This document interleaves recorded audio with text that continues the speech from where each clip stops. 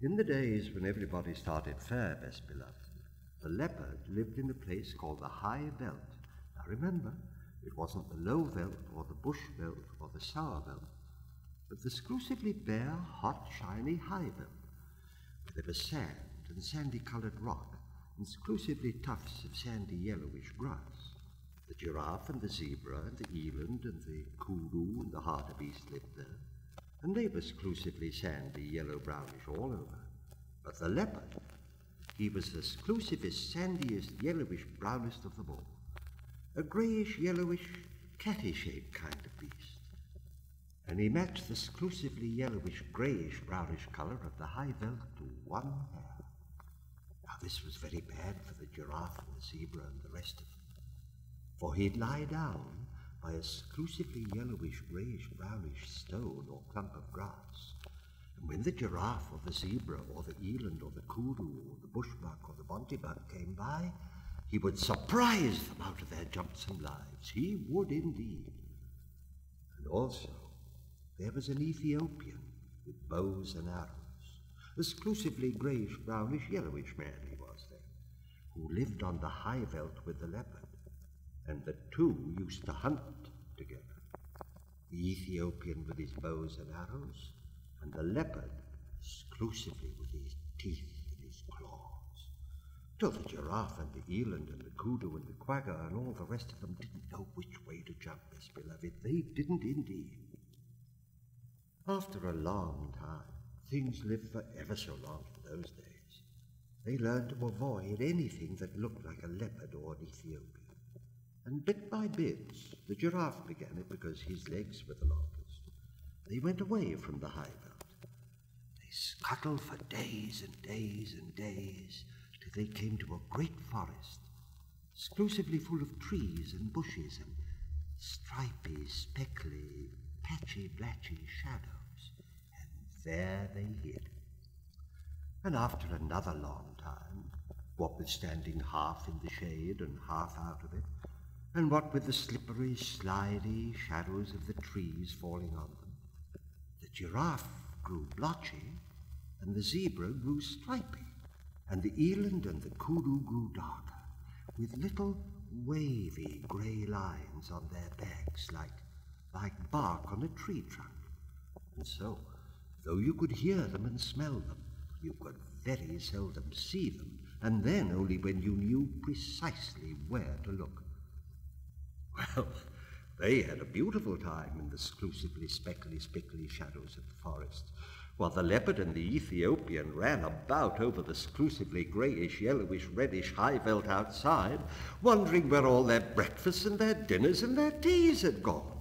At last they were so hungry that they ate rats and beetles and rock rabbits. Then they had the big tummy ache both together. And then they met Bavian, a dog-headed, barking baboon, who is quite the wisest animal in all South Africa. Said Leopard to Bavian, and it was a very hot day, Where has all the game gone? And Bavian winked. He knew. Said the Ethiopian to Bavian, uh, Can you tell me the present habitat of the aboriginal fauna? That meant just the same thing, but the Ethiopian always used long words. He was a grown up. And Bavian winked. He knew. Then said Bavian, The game has gone into other spots, and my advice to you, leopard, is to go into other spots as soon as you can. And the Ethiopian said, That is all very fine, but I wish to know whether the aboriginal fauna has migrated. Then said Bavian, The aboriginal fauna has joined the aboriginal flora because it was high time for a change, and my advice to you, Ethiopian, is to change as soon as you can. That puzzled the leopard and the Ethiopian, but they set off to look for the aboriginal flora.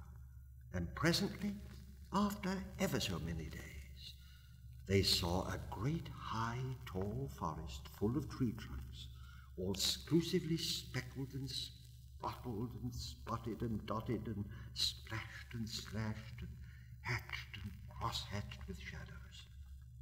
What is this, said the leopard, that's so exclusively dark and, and yet so full of little pieces of light? I don't know, said the Ethiopian, but it ought to be the aboriginal flora. I can smell giraffe, and I can hear giraffe, but I can't see giraffe. Well, that's curious, said the leopard. I suppose it's because you've just come in out of the sunshine. Ah, I can smell zebra, and I can hear zebra, but, but I can't see zebra. And the leopard and the Ethiopian hunted all day, and though they could smell them and hear them, they never saw one. Oh, for goodness sake, said the leopard at tea time, let's wait till it gets dark. This daylight hunting is a perfect scandal. So they waited till dark. And then the leopard heard something, breathing sniffily in starlight that fell all stripy through the branches. And he jumped at the noise. And it smelled like zebra, and it felt like zebra. And when he knocked it down, it kicked like zebra, but he couldn't see it. So he said, Be quiet, oh you person without any form. I'm going to sit on your head till morning, because there's something about you that I just don't understand. Presently he heard a grunt and a crash and a scramble, and the Ethiopian called out, I've caught a thing that I can't see.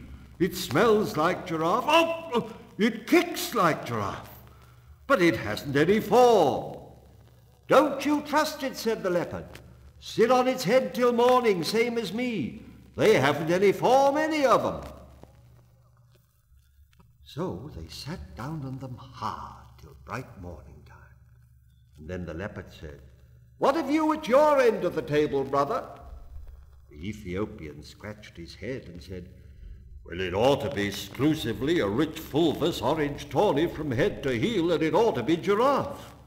But it's covered all over with chestnut blotches. What have you at your end of the table, brother? The leopard scratched his head and said, Well, it, it ought to be exclusively a delicate greyish fawn, and it ought to be zebra. But it's covered all over with black and purple stripes. What in the world have you been doing to yourself, zebra? Don't you know that if you were on the high veld I could see you ten miles off? You haven't any form. Ah, yes, said the zebra, but this isn't the high veld. Can't you see? I can now, said the leopard, but I couldn't all yesterday. How is it done? Let us up, said the zebra. We'll show you. And they let the zebra and the giraffe get up. And zebra moved away to some little thorn bushes where the sunlight fell all stripy, and the giraffe moved off to some tallish trees where the shadows fell all blotchy. Now just watch, said the zebra and the giraffe. This is the way it's done. One, two, three, and where's your breakfast? Leopard stared, Ethiopian stared, but all they could see was stripy shadows and blotch shadows in the forest, but never a sign of zebra and giraffe. They had just walked off and hidden themselves in the shadowy forest.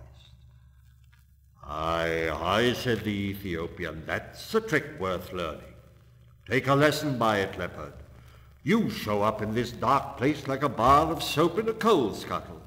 Ho, ho, said the leopard. Would it surprise you very much to know that you show up in this dark place like a mustard plaster on a sack of coals? Well, now, calling names won't catch dinner, said the Ethiopian. The long and the little of it is, we don't match our backgrounds. I'm going to take Bavian's advice. He told me I ought to change. And as I've nothing to change except my skin, I'm going to change that. Well, what to? said the leopard, tremendously excited. To a nice, working, blackish, brownish color, with a little purple in it and, and some touches of slaty blue. It'll be the very thing for hiding in hollows and behind trees. So he changed his skin then and there, and the leopard was more excited than ever.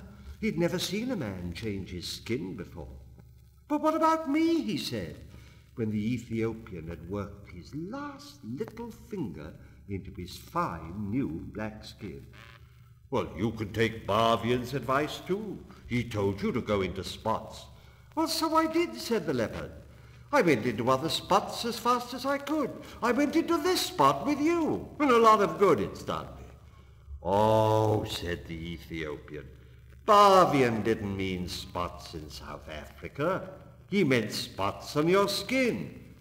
Well, what's the use of that, said the leopard. Think of giraffe, said the Ethiopian. Or if you prefer stripes, think of zebra. They find their spots and stripes give them perfect satisfaction. Oh, oh, said the leopard, I wouldn't look like zebra not forever, sir. Well, make up your mind, said the Ethiopian, because I'd hate to go hunting without you, but I must, if you insist on looking like a sunflower against a tarred fence.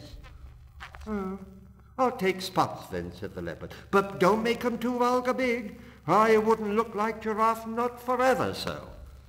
I'll make 'em with the tips of my fingers, said the Ethiopian. There's plenty of black left on my skin still. Stand over.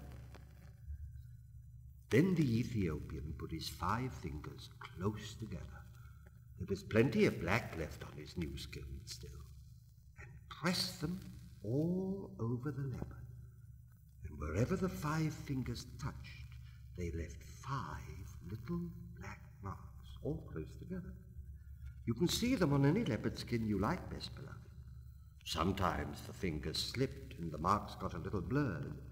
But if you look closely at any leopard now, you will see that there are always five spots or five fat black fingertips. Now you are a beauty, said the Ethiopian. Why, you can lie out on the bare ground and, and look like a heap of pebbles. You can lie out on the naked rocks and and look like a piece of pudding stone.